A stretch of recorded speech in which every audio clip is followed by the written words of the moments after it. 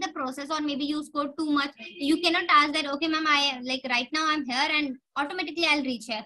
There will be improvement but it take times right? Yeah. similarly for the food process also the improvement word is very much clear that we want the growth. And food resources what are food resources is basically whatever we are eating right? And the question is then why we are reading this chapter? Like uh, okay we know that we need food and everything. The motive behind this chapter is that whatever you are eating right? You should make sure that you you you are eating a healthy food right? And Yeah. see for example you are right now i'm not a farmer. I'm a teacher right? I'm teaching you. So i am not concerned about who is growing the crop how they are growing the crop whether they are using any medicine or not like this right? But at the end of the day i need food and even a good quality food right? So over there that's why we need to study this chapter so that we also we we human being because not everyone is a farmer. See right now if i'll ask you that rebecca just tell me uh, rebecca right? Or rebecca? Rebecca. rebecca okay. So rebecca just tell me how will we grow mangoes? So you're like ma'am we know that you know we'll dig it and we'll put the seed. We'll get confused right so that's why this chapter is here so that even the normal people no matter whether you are a doctor no matter whether you are a scientist you should at least know the basics that you know how food resources are being grown right? So that you at least care for that that okay you will not waste food and you know that okay this takes longer period of time that to uh, you know grow the crops and everything so you'll somewhere take care of that. So in case to you know come to that ethics field that okay you should be aware of this that's why this chapter has been introduced in your textbook. Clear. So i hope you got a scope that why this uh, chapter is here why we are studying. We don't want to become a farmer. Why we are studying this? Everyone is eating food. So if you are eating food you should be at least aware from where you are getting the food right? So that's why. And everyone no matter what everyone wants a good quality food. But if you are not focusing on the agriculture sector you won't be able to do that. So that's why this chapter is how we can contribute or what, are, what is the process required to improve the food resources. Clear? Yes, ma'am. Okay. So now coming to the PPT, the thing is that all organisms require food for the survival and the existence, right? So everyone in this entire country, entire world, they require food. Organism is not only about human beings, everyone, right? Living organism and everything apart from non-living, living organism, all the organism, they are requiring the food for the survival. And if you want to exist, you will need a food, right? But there are only green plant that are autotrophs. Now, auto is what is automatic? Automatic is when you don't need to do it. It will do it by itself. Yes, but are we? Uh, uh, for example, I am eating something. Is it automatic? Uh, no, you have to take the food and put it in your mouth. Yes. So, for example, over here I'm here. I just uh, like I just did this uh, miracle, and over there food is here. So I'm not doing nothing like that, right? What I'm doing, Yes. I'm dependent on someone. Dependent on someone. It's not like that. I'm dependent on my cook. I'm dependent on my mother. I'm dependent on, for example, I want to eat uh, maybe uh, some vegetables. I want to eat vegetables. I just want to have some veggies and all that. I'm dependent on the plant, right? But for example, someone who is non-vegetarian, they want to eat have a non-veg dish. So they are dependent on that animal, right? If they want to eat fish, they are dependent on fish. If they want to eat chicken, they are dependent on that, right? Like that. So over here, Yeah. autotrophs, so they are dependent on someone else, and there is an entire different word for that. We'll discuss that. Autotrophs. Autotrophs means that we are not dependent on anyone. We are making our own food automatically, right? So that's only Yes. green plant. Have the green plant which we have, uh, like which we have in the you know atmosphere, like not atmosphere, the biosphere and all that. So over there, green plant. Have you ever seen that green plant are dependent on animal? The tiger will come and he'll give us some food. No. What they are doing, they are here. They are taking energy from the sunlight, taking water from the roots, making their food, and then eating it and circulating it entirely. Yes. Yes. So everyone require foods and they are basically dependent on someone, right? On the food resources. Everyone requires food, all the organism, and they are like they are dependent on someone else for the food resources. But only green plants are autotrophs. Okay, so automatic means crops means they are making their own food automatically, right? So only green plant in this entire world are autotrophs and others like apart from green plant it can be animal it can be human beings anyone they are dependent on the green plant see for example if you want to eat veggies you are dependent on green plant right? Yeah. it can be directly or indirectly right? Or you want to have, for example, you want to have a mixed veg, right? So over there, of course, mixed veg includes green plant as well. And apart from tomatoes, carrots and all that, right? So you are dependent on plants, green plants directly or indirectly. Clear? Yes, ma'am. So I hope this one is clear that everyone, why we are eating uh, this food resource, because everyone require food for their survival. But there is an exemption. That in the entire world, green plants are the only one that they are doing the things on their own. Right? Yeah. Now our country ranks second in the population growth. So now this is the old data in our books, NCERT. Our country is basically, they are talking about India. Okay. You are from India as well or you are from uh, other country only? I'm from India, ma'am. Okay. Which state? Kerala. Okay, okay. So yeah, you can also mention our country, right? But instead yeah. of mentioning that our country, you can mention India, right? So over here now, India is not in the second population because this is basically right now the census has not been conducted, right? And your books are not updated. So in NCERT, you will get this second, second, second everywhere because they are not updated, right? So basically yeah. now, according to recent data, India is the topmost populated country in the world. Earlier it was China, but now Eh, I don't know what to say, but now it's India, right? So over here, yeah. our country is over there, like uh, comparing and the entire world, our country is the topmost, right? So over here, and it is increasing day by day, right? So that's why yeah. there is a problem. For example, earlier I have four tomatoes, okay? So I have four people, so we're eating it. Then suddenly they became eight. Now one tomato, two people are eating. Now there are 800. So resources are limited. Yes, but yeah. how will I manage that? Okay, now 400 people are there. So this is the process. That's why there is a need to improve the food resources, to improve their quality, to improve their status, everything. Right? So to yeah. feed a huge population, we require millions of tons of grains. It is necessary to increase the production efficiency of crops and the livestock. Right? So yes. that's why. Now from this entire introduction, of course, CBSE can form a question, question they can, of course, they'll not ask you that whether all the organisms need food or not, because you are right now in ninth class. They'll be framing a question like this, that uh, why we are studying this chapter, what is the context of this chapter, why there is a requirement to improve the quality of, like improve the food resources, why the improvement of food resources is needed. So how will you start it? What do you think? How will you start it? Uh, improvement of food is necessary for us mm -hmm. and and uh, as we need to have a mindset on each food uh, uh, of which is good for us and which is not mm -hmm. good for us yes uh, so, mm -hmm. no yeah mom, yeah you can continue i'll I, i'll add it later on just tell me any other point uh that all living organisms is necessary uh, needs food as it's mm-hmm. necessary mm -hmm. for their life uh, for their life and existence Yes. So you will put this word. For example, I'm asking you why you are studying bio. So your mindset is very clear. I want to score well. I want to uh, do this in my future. So that's why I'm studying bio, right? Similarly, yeah. why you're studying this chapter or why improvement in food resources is important. First, see, everyone needs food.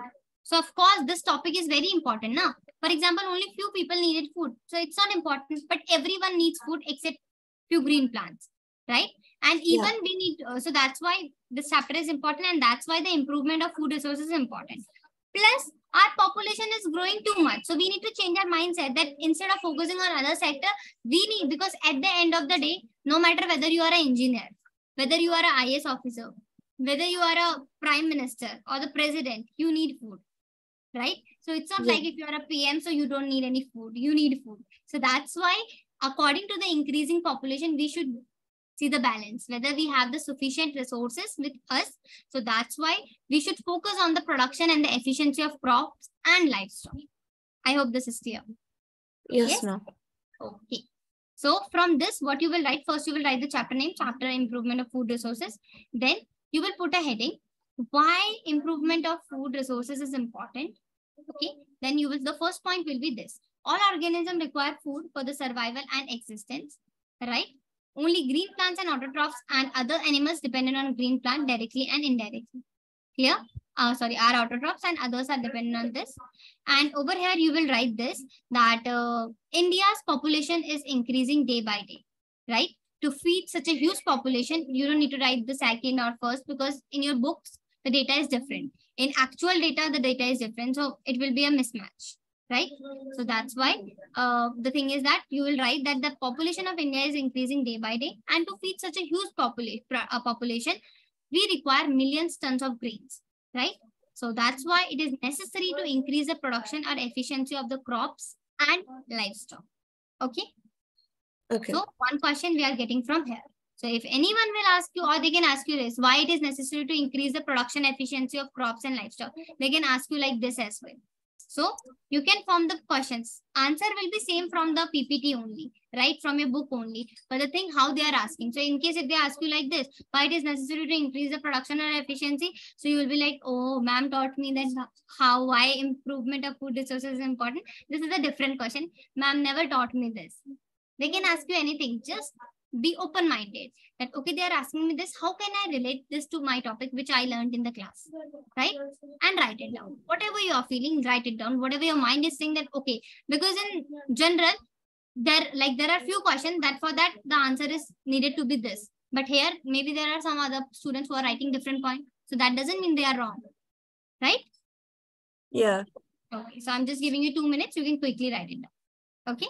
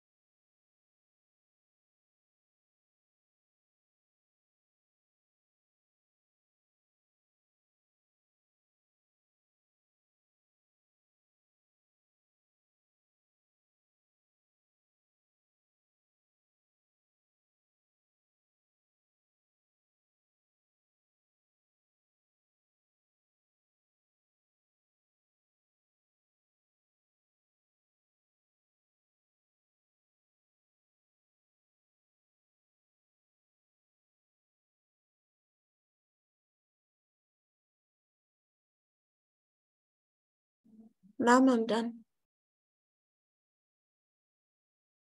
Okay. Now coming to the next part.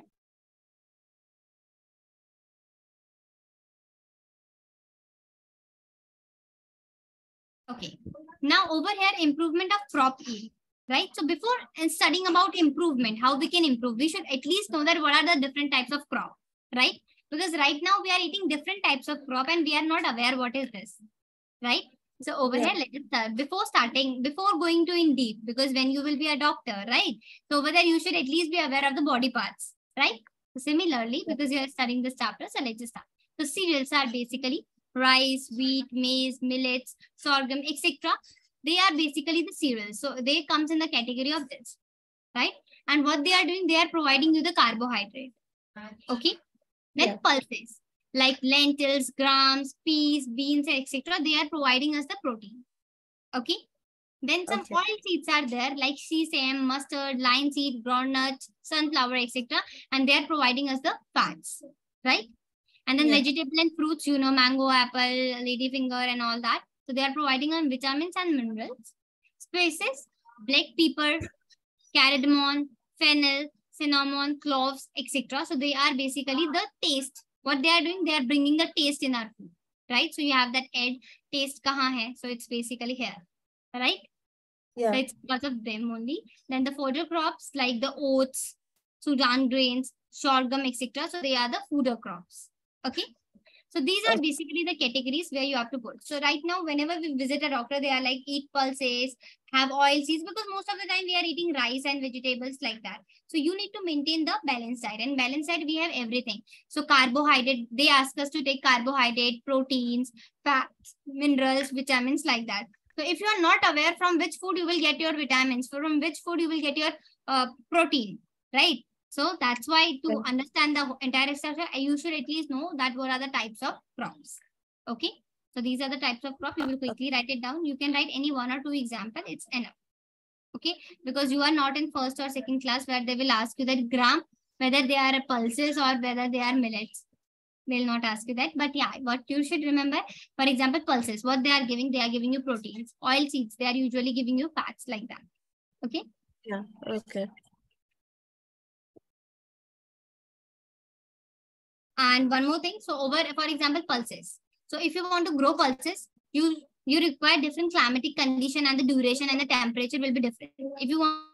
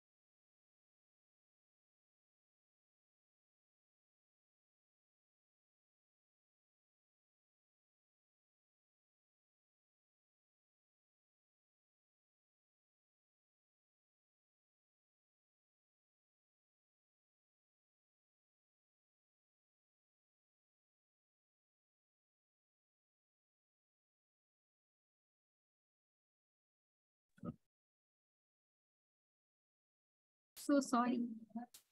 It's okay. just lost the networks. Okay. So now, uh, yeah, one more thing I was telling you. I was telling you this.